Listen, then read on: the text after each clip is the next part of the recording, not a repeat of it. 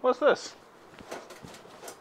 Ah. Hey, I'm James from Smoking Dad Barbecue, and that, I hope, is a new record for the fastest reveal in YouTube history. But there's no point keeping you in suspense here, since this brand new pizza oven, my latest purchase, has been in the background of my videos all summer, and I've enjoyed watching the comments come in in terms of what is that when it's under the cover, and to when are you going to tell us about the pizza ovens? That's what's in store today. I'm going to fill you in on my latest purchase, what I got it for, what we're going to do with it, what I think of it so far. So without further ado, let's get started. So as always, I'll put chapters down below to help it make it easier to navigate this video. But the three chapters we're gonna cover is first, the journey that got us to this point. This is something that I've been planning for years, especially when we built the outdoor kitchen. This countertop had a pizza oven in mind, but it's taken us a long time to pull the trigger. Okay, it's taken me a long time to pull the trigger. And I wanna share some of the thinking, the hesitation, the pros, cons, etc., what got us to this point. Second, I wanna go through the oven itself. There's just an abundance of choice. That's in part what took so long. So I'll give you a quick overview of the oven that I picked and why, uh, and maybe that's some of the same questions that you're facing. It might help you out if you happen to be thinking about a pizza oven. And then lastly, I wanna share what I think about it. We've been doing a couple cooks all summer, so I wanna share what I've cooked, what we plan to do next. So now you know how to navigate this video, let's start. So the idea for a pizza oven is actually a seed that was planted nearly three years ago. One of the videos that I did first on my channel was actually comparing a Kamado Joe with a DoJoe versus a non-DoJoe. Spoiler alert, if you haven't seen that video, you know, cover your ears, but I found that the pizza on the DoJoe was better. Uh, so everybody in the family found it better, and I called it about, you know, 5% better. Not night and day better, but it's better. The DoJoe I am going to give a 1% but a friend at the time had just picked up a wood-fired pizza oven and there was just something uh, different. Maybe it's the extra temperature. So the DoJoe sort of caps out about 700 degrees Fahrenheit, whereas it's not uncommon for ovens like mine to be able to run at 8, 900 degrees Fahrenheit. Maybe it's the fuel source, you know, charcoal versus wood or a whole bunch of other factors. And I wanted to do a head-to-head. -head. But the practical logistics of moving a 300 pound Kamado to my friend's backyard where he has the pizza oven, or vice versa, moving his pizza oven uh, to my backyard where I have the Kamado Joe, just hasn't been something we've been able to make happen over the past couple years. And so now, since they're side by side, that's definitely a video that I'll have in store. So make sure you're subscribed and you have the notification bell turned on so you don't miss that video when it comes out. Because I can't wait now that they are side by side to be able to get these two taste experiences a little bit closer together. So that was the original catalyst for it. And over the last couple years, just being at their house or in other friends' house where there's been pizza parties, there's just something about the experience I absolutely love. And like when I picked up my offset, I am all team live fire here. And so there's a couple things that I hope to be able to do differently on my Kamado Joe. So on my Kamado Joe, it's all heat from the bottom, uh, whereas on the pizza oven and my offset, it's over the top heat. We've got some live fire control, and just like on the offset where I hope to pick up some tips and tricks, and we've already done that, that will improve our low and slow cooking. I think the same will translate here with our pizza oven to what we could bring to our Kamado Joe. So I think it's a win-win for everybody, and I can't wait to share the, uh, the journey with you and have you be part of that. Again, like uh, I mentioned before, be sure to mention in the comments if there's a cook or a comparison you'd love to see. So let me tell you a little bit about the oven itself. So why pick this oven? Well, believe it or not, my buying criteria has a little bit more to it than does it come in red? Although I can't fault you for thinking that it starts and stops there. Uh, one of the issues that I wanted to try and avoid, and even though I had a number of companies reach out and offer to send me a free oven, which financially would make a ton of sense, is the clearance in the dome. So some of these small dedicated, you know, pizza ovens that are portable or in your backyard don't have significant clearance out of the front. And this is an issue that I've even ran into with the DoJoe. So this is a, a pan that's similar to the one I have inside. Uh, we're using it for dinner, but it's our lasagna pan. Is that it just it doesn't fit the clearance. Now at least with the DoJoe, you could open that up, let your heat out, and drop it in so you could cook things other than pizza. But I did not want to get a one-trick pony. So first, the door size was a, a key consideration. Second, consideration is just the space. So we, while we have some space, we have unlimited space. So this is a pizza oven that can hold two pizzas at once. La Piazza makes ovens that go all the way up to at least a four, I believe, uh, if not even more. But we, uh, again, aren't turning out that many uh, pizzas. And I found for our backyard and size, you can constantly have two pizzas going. And that is more than enough to keep a crowd of 30 happy and constantly have pizza coming out, especially since you do it in about 60 to 90 seconds so it's not a long wait. And have the staying power to keep going. So uh, as many of you have seen, I cook all year round in our climate.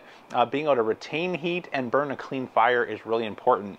And so the La Piazza ovens come with uh, 304 stainless steel, North American everything. They're made here uh, in North America, 304 stainless steel, and five inches of insulation. And so that does a couple of things. So for cold winters, uh, it makes it that we're not going to struggle to, you know, just go through a bunch of logs to maintain heat. Uh, and we also get the full benefit of that uh, radiant heat that's going to get stuck on the outside. Plus, as we have kids in the area, this is running, and I'll bring you over uh, and we'll do a temperature gun in a second. But as you can tell, I'm able to put my hand on here without getting scolded. So when we have kids in the area and it's getting at a level that they can reach, um, less insulated units, you'll get a burn. And I've unfortunately uh, seen and heard of that through friends and family firsthand. So that was uh, another consideration. And third on the list was price. it's amazing how quickly the prices can escalate on these things, especially if you're importing, uh, you know, an oven right from Italy. And I've even seen recently an article, I'll put a, a clip of it up on here. I think it was from Swagger Magazine that actually called out one of their winners, the best value uh, is ovens made by La Piazza Oven. Now they went for the uh, the larger size than what I got. This is the Piccolo model, so it'll hold about two pizzas at once. But based on its ability to hold heat, keep going, add another log, and you've got plenty of BTU. We do parties sort of no more than 20 to 30 people, and two pizzas in 60 seconds. This is more than enough for the entertaining style uh, of parties that we host. But that price is uh, another consideration. And just like they pointed out here, the direct compare, uh, you know, from Alfa and some others is nearly double uh, you know, what I paid for this. So this is, uh, I'll put it up on screen so you can see the example here of the pricing. But I'm willing to pay a little bit, but not go absolutely crazy. So all that, uh, plus the benefit of, uh, these are actually made about an hour from where I live. There's free shipping in the US, uh, you know, distribution all throughout North America, but free shipping in the US, free shipping in Canada, 304 stainless steel, North American steel components, five inches of insulation, and a price uh, and the utility with the door and the vent system that actually allowed me to do more than be a one-trick pony is what led me to pick this oven. Now that you know a little bit more about why I picked it, let me come nice and close and, or bring you nice and close and show you a little bit more about it. Okay, so for controlling temperatures, we have a couple options.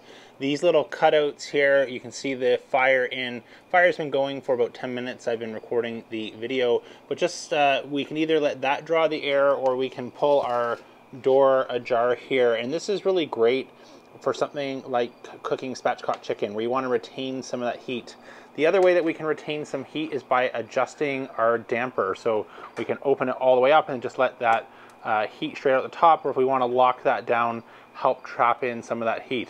Let me uh, just put you back on the stand here so I can remove this and we can check the temperature inside. Right now, looks like our air temperature about the 10 minute mark if I can get that to focus. I don't know why it's not focusing. Looks to be about 600 degrees Fahrenheit. It's not bad. 10 minutes in, let's uh, check the surface temperature on the stone. Okay, let's remove our door. And uh, you guys have always seen me use my Thermapen IR, which has a built-in IR gun that can take surface temperatures. One of the things I found my first cook is it's got a limitation of about 600 degrees uh, Fahrenheit. So right on the front, I'm 630, and I'm not able to go any further. So I ended up picking up the ThermoWorks actual IR gun for pizza ovens. So as you can see right in here, I can't keep my hand there. We're sitting at about 833 degrees Fahrenheit. So we're now about 15 minutes in. My camera's actually overheated on me and turned off a couple times just based on the uh, heat coming out. But if I give you a quick tour here, you can see the workspace that we have and some of that awesome flames just rolling over if I drop down here. Give you a little bit of a view of what your pizza would be subjected to. Okay, last but not least, what have I cooked so far and what are we planning to cook with it? But before I go too far, I forgot to show you the tools. So there is an amazing tool set here that I've actually been getting use out of with my offset, my pizza oven, and even my Joe. So they uh, come with the option to step up to an amazing tool set as an accessory. And so I'm gonna give that uh, two thumbs up as well. And I like it so much, I reached out and La Piazza has even offered me an affiliate. So if you do buy through the link, you get a save 30%. And I do uh, just full disclosure, if you use that link and use that code, uh, receive a small commission, which helps fund the channel and do the things that we're doing. So enough about that. That's always down in the description below. Uh, so one of the reasons I wait for doing these types of reviews and products is I want to make sure that I have a chance to give it a fair shake. One of the biggest mistakes I made on the channel is doing a review of the JoeTisserie, I think even the day that I bought it. And turns out some of the things that I didn't love about it were more operator error or operator skill level issues than the product itself. And it's gone on to become one of my absolute favorite accessories. It's tied for first place with the soapstone and I absolutely love it.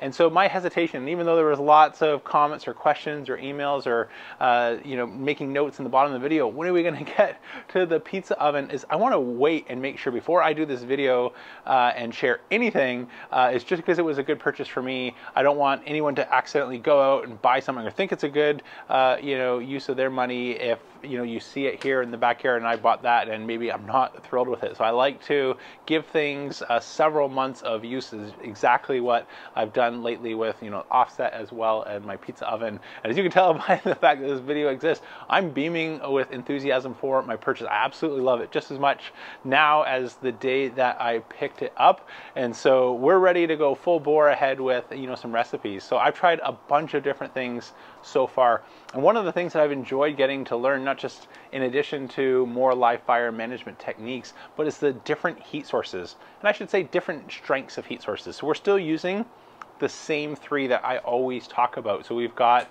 our conduction, which is food or a cast iron sitting on those hot stones. But these, uh, again, get really hot, so we definitely have some, uh, you know, bottom heat like we're used to on our Kamado Joe. I was able to cook some beer brat sausages and get that beer almost up to a boil, but at the same time, we've got that over-the-top heat, and we were able to get some amazing sort of nutty caramel texture on our brie as well as on the sausages. They, they tasted even better than they look, and they look pretty amazing. So that was uh, a great experience. And then our third uh, heat source, uh, just like always, is convection. We're moving air. And so I would say, you know, versus the uh, Kamado Joe, pretty similar on the conduction heat, bottom heat, uh, depending on what we want to get our stone to, you know, we've got heat from the bottom. Where we're getting more, just I think, based on the fire rolling over the top, is that, uh, you know, sort of radiant heat, you know, from that fire as from the heat up top. So depending on how we want to build our fire here, you have a little bit more control over cooking things from the top. And this has been great for spatchcock chicken. I've done an Alabama white chicken, you know, shishito peppers, uh, and of course, it'd be remiss to have a pizza oven without doing pizza. So we've done a couple attempts at pizza here and just learning uh, and enjoying the experience along the way. But the biggest learning so far is just really coming down to the dough. I've always done sort of same day set doughs that I wake up and say, ah, I think it'd be fun to have pizza or let's invite some friends over for pizza tonight and so those doughs are ideal for that 600 to maybe sort of max 700 degrees Fahrenheit, which is a perfect fit for the DoJoe because it's capped uh, at 700 degrees. But as you can see, sort of 15 minutes in, we are up over 800 degrees. We need a dough with a little bit uh, different uh, hydration and consistency to be able to withstand these temperatures and really take advantage of that high heat that this oven is able to put off. And so don't worry, uh, we will do that head to head soon, but I'm still gonna get through a couple cooks. So let me know what you'd like to see. I'm thinking obviously first pizza. If you want to see any of these clips that I've shared, whether it's spatchcock chicken, the sausages, or anything like that, let me know. Uh, and then we'll get into the DoJoe. Uh, how does it compare? Taste, bring some friends over. Uh, you name it. Let me know down in the comments. But that's about it for today's video. I hope you really enjoyed it uh, and you're going to enjoy the experience. I can't wait to figure out what we learned and just like our offset, it's all about bringing the tools, techniques, and tips, things that we pick up along the way and then figuring out how to adapt the best uh, of those learnings into whatever cooker you may be using uh, at home. So I can't wait to uh, go on this journey with you. That's it for today though. I'm James from Smoking Dad Barbecue signing off and remember, don't be afraid to fire it up.